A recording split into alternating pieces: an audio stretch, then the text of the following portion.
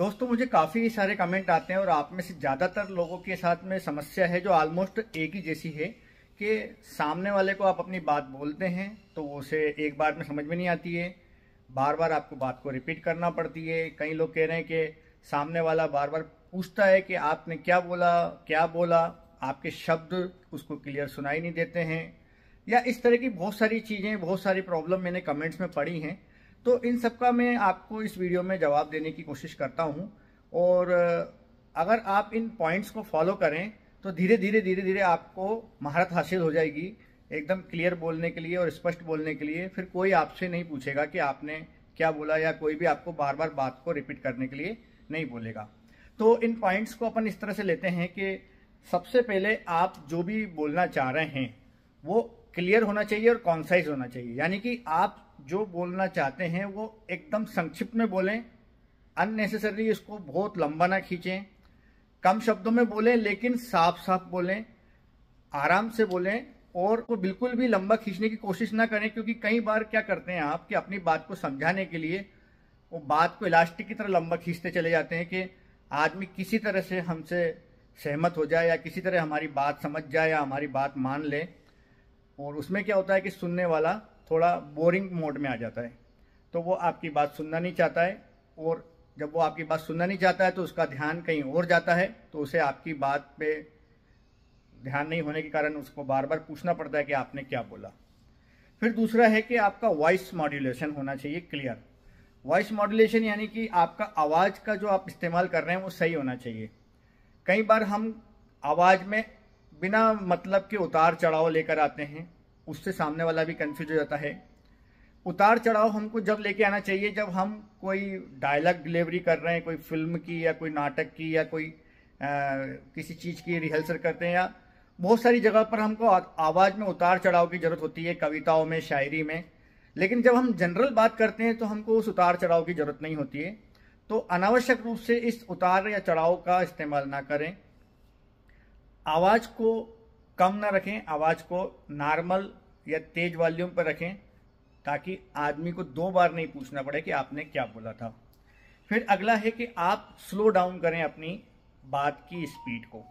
कई लोग मैंने आपको बताया कि अपनी बात को जल्दी में समझाने के लिए हड़बड़ी में बोलते हैं। हड़बड़ी में जल्दी जल्दी बोलेंगे तो उनके शब्द क्या होता है कि मुँह में ही आपस में उलझ जाते हैं और इसमें क्या होता है कि वो खुद भी घबरा जाते हैं कि सामने वाला हमारी बात को सुन नहीं पाया या हड़बड़ी में हमारी आवाज़ खराब हो गई।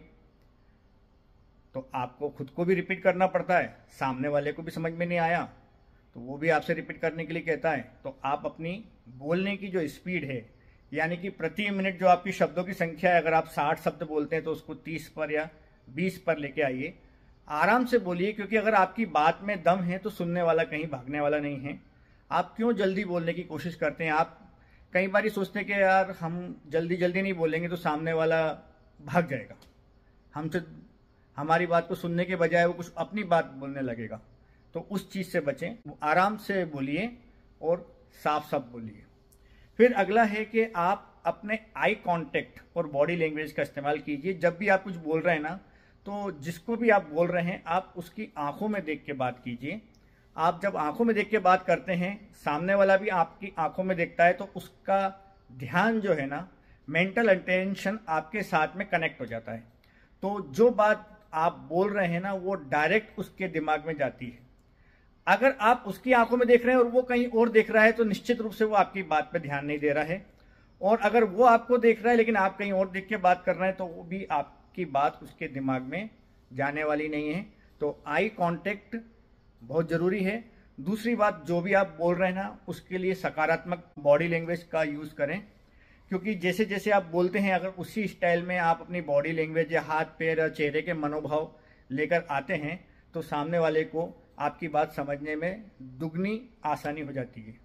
आप उसको, अपनी बात को दुगनी तरीके से बोल रहे हैं, यानी कि आप मुँह से भी बोल रहे हैं, साथ में अपनी बॉडी लैंग्वेज से भी बोल रहे हैं तो एक तरह से आप अपनी बात को एक ही टाइम में दो बार बोल रहे हैं तो उसको बहुत अच्छे से समझ समझ में आ जाती है।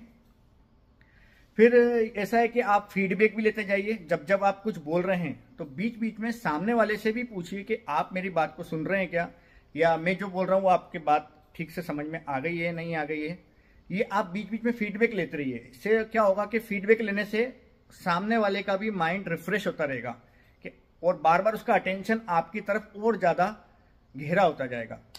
तो फीडबैक लेना बहुत ज़रूरी है, क्योंकि केवल आप ही आप बोल रहे हैं सामने वाला सुन रहा है या नहीं सुन रहा है वो आपको पता नहीं है। जैसे आप सामने वाले से पूछते हैं कि क्या आप मुझे सुन रहे हैं या आपको मेरी बात समझ में आ रही है तो उसका एकदम अटेंशन अगर कहीं और चला गया है तो आपकी तरफ़ आ जाता है। फिर अगला है धैर्य रखें। जैसा कि मैंने बताया कि बोलते समय हम अपना धैर्य खो देते हैं। हड़बड़ी में, तेज़ी से, गड़बड़ी में, कुछ भी शब्दों का इस्तेमाल करके फास्ट बोल के, ये सब बोलकर करके हम, है ना, अपने बोलने का क्वालिटी डाउन कर लेते हैं। तो आप धैर्य पूर्वक बोले। सबसे पहली बात कि आप अपने मन में थोड़ी शांति रखें बोलने के पहले तो सामने वाला आपकी बात को शांति से समझ जाएगा। अगर आपके ही मन में उथल पुथल मच रही है, आपके मन में ही हड़बड़ी मची हुई है तो सामने वाला आपकी बात को क्या समझेगा? तो इन चीज़ों का ध्यान रखें। यानी कि ये तो रही आपको जनरल बातचीत के बारे में मैंने आपको बताया कि क्यों लोग आपसे बार बार रिपीट करने के लिए कहते हैं और आपको बोलना पड़ता है, उससे कैसे बचें। दूसरा, आप ऑफ़िस में इस तरह का कोई कन्वर्सेशन या कम्युनिकेशन कर रहे हैं तो ऑफ़िस का थोड़ा सा रूल चेंज हो जाता है। ऑफ़िस में बात करते समय आप हमेशा दो चीज़ों का ध्यान रखें कि प्रोफेशनल भाषा का यूज़ करें, या जो बिल्कुल भी औपचारिक भाषा का आप यूज़ करें, औपचारिक शब्दों का यूज़ करें कैजुअल शब्दों का इस्तेमाल ना करें तो आपका कम्युनिकेशन अच्छा होगा। और दूसरा, जब भी आप ऑफ़िस में बात कर रहे हैं तो विजुअल एड्स का इस्तेमाल करें। जैसे कि आप कोई एक्सेल शीट पे दिखा के भी आप बात कर सकते हैं पावर पॉइंट पर भी आपको दिखाकर आप बात कर सकते हैं, कोई स्लाइड्स दिखाकर आप बात कर सकते हैं। या मोस्टली लोग क्या करते हैं कि एक पेपर लेते हैं और जो जो बोलते जा रहे हैं ना, वो एक पेपर पे भी लिखते चले जाते हैं। या आप एक बोर्ड का इस्तेमाल कर सकते हैं। आपने देखा होगा कि जब इंश्योरेंस पॉलिसी बेचने के लिए आपके पास में कोई एजेंट आता है तो वो जो जो बोलता जाता है ना, वो साथ साथ एक कागज़ पे, एक पेन से भी लिखता चले जाता है। तो क्या होता है कि आपका विजुअल अटेंशन उसकी तरफ़ हो जाता है। मतलब वो जो बोल रहा है, वो तो आप कानों से सुन ही रहे हैं। प्लस वो जो बोलना चाह रहा है या जो समझाना आपको चाह रहा है, वो कॉपी पेन पर साथ साथ लिखता चला जाता है कि आप इतने की प्रीमियम लेंगे, इतने की प्रीमियम आएगी, ये वाली पॉलिसी लेंगे तो इसका इतने साल में ये खर्चा आएगा आएगा। आपको वो एक पेपर पे समझाता चला जाता है साथ साथ जो जो बोल रहा है। तो क्या होता है कि वो डबल कॉन्टेक्ट हो जाता है ना, एक तो उसका बॉडी लैंग्वेज प्लस पेपर और जो बोल रहा है वही। तो उसकी बात को हम तेज़ी से समझ पाते हैं और ये चीज़ उनको ट्रेनिंग में भी सिखाई जाती है। तो यही चीज़ मैं आपको बता रहा हूँ कि आप अपनी बात को सामने वाले के सामने और अच्छे से रखना चाहते हैं तो आप नोट्स का या विजुअल एड्स का इस्तेमाल कीजिए, एक प्लेन पेपर का या बोर्ड का इस्तेमाल कीजिए। जैसे अभी मैं भी ये कर सकता था कि आपको बताते वक्त में इन सब पॉइंट्स को एक बोर्ड पर लिखता जाता तो आपका अटेंशन और ज़्यादा हो जाता। पर मुझे उम्मीद है कि मेरे इस सिंगल मोड से भी आपको समझ में आ रहा होगा कि मैं आपको क्या कहना चाहता हूँ। दूसरा बात है कि आप अगर दोस्तों के बीच में बात कर रहे हैं तो ज़ाहिर सी बात है, जब दोस्तों के बीच में बात कर रहे हैं तो आपको हड़बड़ी की तो एकदम बिल्कुल ज़रूरत नहीं है। आप हल्के फुल्के शब्दों का इस्तेमाल करिए हल्की फुल्की भाषा का इस्तेमाल करिए, और थोड़ा बहुत हँसी मज़ाक के लैंग्वेज में भी बोलिए। सरल भाषा का यूज़ करिए सिंपल भाषा का यूज़ करिए, और आपके दोस्त जिस वे में समझ सकते हैं, जिस बात को, उस उस तरीके से आप उनको समझाने की कोशिश करिए। और ध्यान रखिए कि दूसरा आपकी बात को तभी ध्यान से सुनेगा जब आपने उसकी बात को ध्यान से सुनी हुई हो। यानी कि एक म्यूचुअल अंडरस्टैंडिंग होती है। अगर आप उसकी बात को ध्यान से नहीं सुन रहे हैं तो वो भी आपकी बात को ध्यान से नहीं सुनेगा। तो अच्छे कम्युनिकेशन में ध्यान से सुनना भी उतना ही ज़रूरी होता है, जितना सामने वाले को अपनी बात को अच्छे से समझाना। तो कुल मिला के मैं सारांश में ये कहूँ कि आपको अपने एक एक शब्द को एकदम साफ़ साफ़ और एकदम आराम आराम से बोलना है तभी सामने वाला आपकी बात को समझेगा। अगर इनमें से आप किसी भी पॉइंट को स्किप करते हैं तो फिर वापस से वही दिक्कत आएगी।